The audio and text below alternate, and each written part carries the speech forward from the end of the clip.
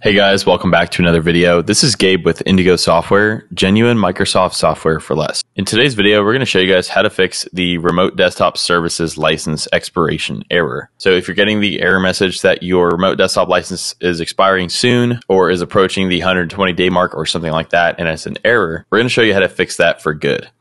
Before we jump into that, if you're interested in purchasing remote desktop licenses, Windows Server 2022, SQL Server, or a wide variety of other Microsoft software at a great price. Check out Indigo Software. We'll put links down below. So without further ado, let's get started.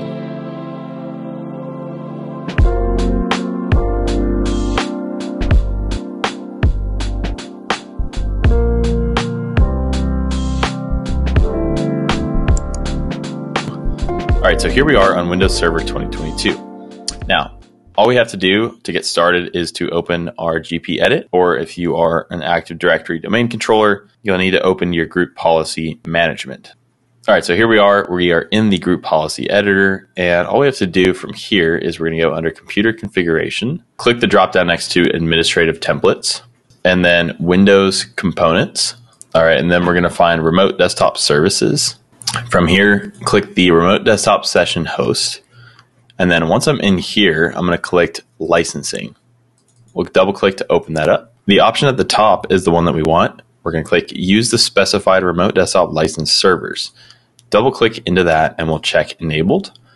And then we're just going to type our server name. In my case, it is server 2. All right, with our server name typed into the box, we can separate by commas if we need to. So I might also do this for my server 1. We'll hit apply and we'll hit OK. Next up, we'll go to set the remote desktop licensing mode. Check this as enabled as well. And we're going to change the dropdown to per user.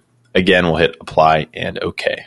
All right, guys. So at this point, all you need to do is log off and log back in, and that error that you were getting should now be resolved. If you found the video helpful, a like and subscribe would go a long way in supporting the channel and helping us make more videos like these. Again, if you're interested in purchasing SQL Server, remote desktop licenses, Windows Server 2022, or a wide variety of other Microsoft software at a great price, check out Indigo Software. We'll put links down below. As always, we strongly encourage any specific viewer topic ideas if you have any in mind. So thanks for watching. We'll see you guys next time.